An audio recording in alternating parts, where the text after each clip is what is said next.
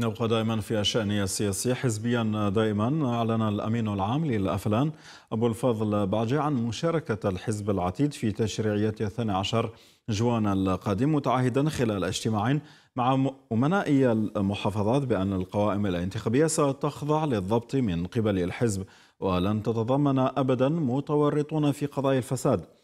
مشيرا إلى أن الأفلان سيضع في الصفوف الأولى الشباب وذوي الكفاءات وكذلك أصحاب الاستقامة ونظافة اليد التغطية كانت لإيمان طبيب.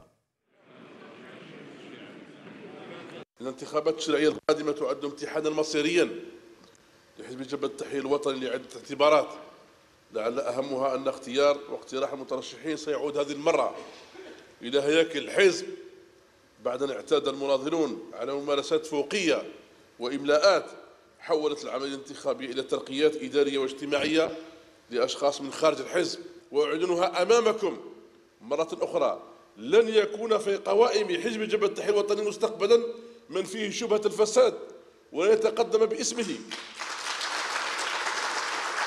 وليتقدم باسمه من تحوم حوله الشبهات بل لا بد أن يكون مناظرون ومرشحون مثال الاستقامة والنزاهة. ونظافة اليد.